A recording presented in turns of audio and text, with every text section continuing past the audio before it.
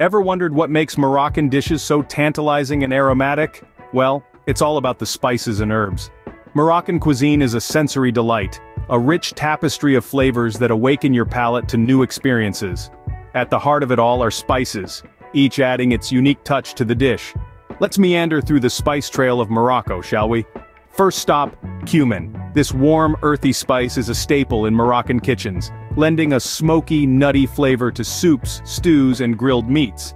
Then there's coriander, a spice with a sweet citrusy note that's often paired with cumin for a flavor duo that's simply irresistible. But what's a Moroccan dish without the royal touch of saffron? This precious spice imparts a unique aroma and a golden hue to dishes, making them truly regal. Chilies add the fiery kick, dried ginger brings a zesty twist, while cinnamon adds a sweet spicy warmth. Paprika with its sweet and smoky profile is a must in many a Moroccan dish, adding depth and color. And let's not forget the unsung heroes of Moroccan cuisine, preserved lemons and olives. Preserved lemons with their tangy, briny flavor and olives with their salty, savory punch are key to many Moroccan dishes, adding a layer of complexity that's hard to replicate. Now the magic of Moroccan cuisine isn't just in the spices and ingredients, but also in the cooking methods. Take the tagine for instance. This traditional clay pot slow cooks the food, allowing the spices and ingredients to meld together over time, resulting in dishes that are incredibly flavorful and tender. The Moroccan tagine, a slow-cooked stew, is a perfect representation of the country's culinary philosophy, patience rewards with deep, rich flavors. It's a testament to the Moroccan belief that good food is worth the wait, and that the journey of creating a dish is just as important as the final product. And that, dear listeners, is the essence of Moroccan cuisine. Have you ever tasted Botswana's traditional dishes where food is a hearty, shared experience? This is a land where the humble maize rules supreme in the culinary realm. It's not just a crop, but a cornerstone of Botswanan cuisine and culture, used in a myriad of ways to create dishes that are both comforting and satisfying. One of the most popular dishes that hold maize at its heart is a thick porridge known as bogobe.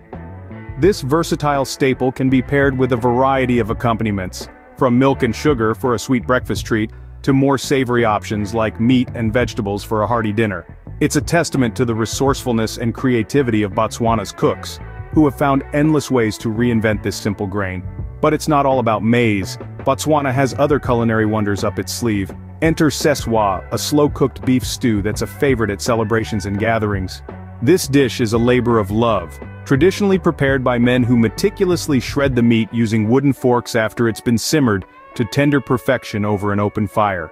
It's a testament to the country's communal spirit, where the act of cooking becomes a shared endeavor, bringing people together in celebration of food and fellowship. And what's a celebration without a toast? In Botswana, this often comes in the form of bojalwa, a local homemade beer brewed from fermented sorghum or maize. It's a potent brew, often served in communal vessels, further emphasizing the importance of sharing and community in Botswana's food culture. So, from the humble maize to the hearty seswa and the celebratory bojalwa, Botswana's cuisine is a window into its soul. It's a cuisine that champions simplicity, resourcefulness, and above all, community. Because in Botswana, the act of sharing a meal is as important as the meal itself, and every dish tells a story of the country's rich culture. Ever been intrigued by the culinary delights that come from the warm heart of Africa, Malawi? Well, prepare to let your taste buds embark on a journey through Malawi, a country blessed with an abundance of fresh water bodies, the largest of which is Lake Malawi. This massive body of water is not just a stunning sight to behold, but is also the source of an array of tantalizing dishes that are integral to Malawian cuisine. An important staple in Malawi is nsima, a thick porridge made from cornmeal. This hearty dish is served with accompaniments such as fish, meat, or vegetables. But it's not just about filling the stomach, it's about an experience. Each bite of nsima, whether it's combined with a juicy piece of meat, a fresh catch from the lake, or a locally grown vegetable, tells a story of the Malawian people's connection to their land, and their ability to create a satisfying meal from what they have. Now, let's dive deeper into the heart of Malawi's culinary culture and talk about chambo, the national dish. Chambo is a type of fish unique to Lake Malawi. Its rich, flaky texture and distinct flavor have earned it a special place in the hearts and kitchens of Malawi. Often served with nsima, chambo is typically grilled, fried, or cooked in a stew, As the aroma of cooking chambo fills the air, it's a signal that a feast is about to begin. What's fascinating about Malawian cuisine is its simplicity. There are no complicated cooking techniques or hard-to-find ingredients. It's all about taking what the land and lake offer and transforming them into meals that nourish the body and soul. So, the next time you're seeking a culinary adventure, why not consider Malawi? Experience the warmth and richness of a people who have learned to artfully utilize the resources of their land and lake. Malawi's cuisine is a testament to its people's ability to artfully utilize the resources of their land and lake. So, have we whetted your appetite for African cuisines yet?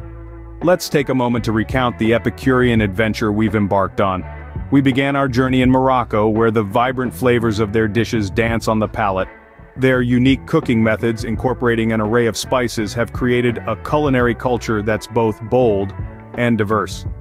Then we ventured to Botswana where the communal dining experience is as rich as the food itself. The hearty meals deeply rooted in tradition have a way of bringing people together, creating a sense of community with every bite. Our journey didn't stop there. We found our way to Malawi, where the resourceful use of local ingredients has resulted in a cuisine that's both nutritious and delicious. The lake bounty of Malawi truly showcases the inventiveness of its people. Whether it's the spice-laden dishes of Morocco, the hearty meals of Botswana, or the lake bounty of Malawi, African cuisine offers a delightful Epicurean journey worth exploring. If you've enjoyed this culinary journey through Africa as much as we have, then don't let the adventure stop here. Like, share, and comment on this video to keep the conversation going. What was your favorite dish? Have you tried any of these cuisines before? We'd love to hear your thoughts. And if you're hungry for more, make sure to hit the subscribe button. We'll take you on delicious journeys exploring food from all corners of the globe. Remember, every new subscription is a ticket to another culinary adventure. Thank you for joining us on this Epicurean journey through Africa. Stay tuned for more mouth-watering destinations. Until next time, bon appetit!